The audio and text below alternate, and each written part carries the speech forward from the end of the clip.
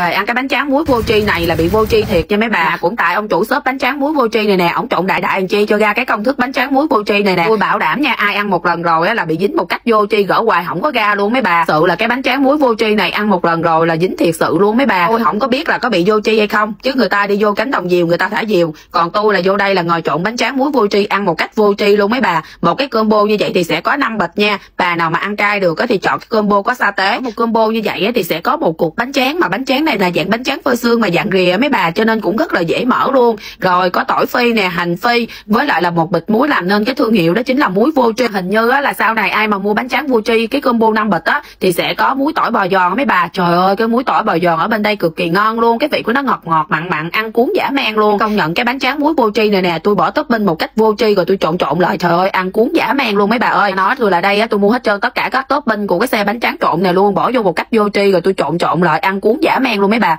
Không hiểu sao á, ăn một miếng rồi tôi lại muốn ăn một miếng thứ hai nữa. Phải nói là nó bị cuốn một cách vô chi luôn á mấy bà mấy bà ơi. Mấy bà mà ăn cay được á, mấy bà nhớ là mua cái combo có sa tế nha. Còn ăn cay không được á, thì chọn cái combo không có sa tế. Trời ơi, cái sa tế bên đây cực kỳ ngon luôn, ngon một cách vô tri luôn mấy bà. Khi mà trộn lại nha, nó cay cay, nó mặn mặn, nó ngọt ngọt, nó hòa quyện lại với nhau. Tôi nói thiệt nha, ăn bị gì một cách vô tri là có thiệt luôn. Mà có thêm mỡ hành nữa thì mình cho mỡ hành vô nha, cho nó béo béo. Trời ơi, tôi nói thiệt với mấy bà là cái bánh tráng muối vô tri này á, là tôi ăn một ngàn lẻ một kiểu luôn. Kiểu nào cũng bị ghiền một cách vô tri hết trơn á mấy bà.